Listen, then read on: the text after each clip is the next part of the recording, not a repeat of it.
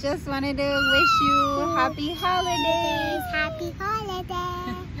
Feliz Navidad! Feliz Navidad! Hope you have a wonderful Christmas. We were just talking to a friend and her daughter is Emmy's age, four, right?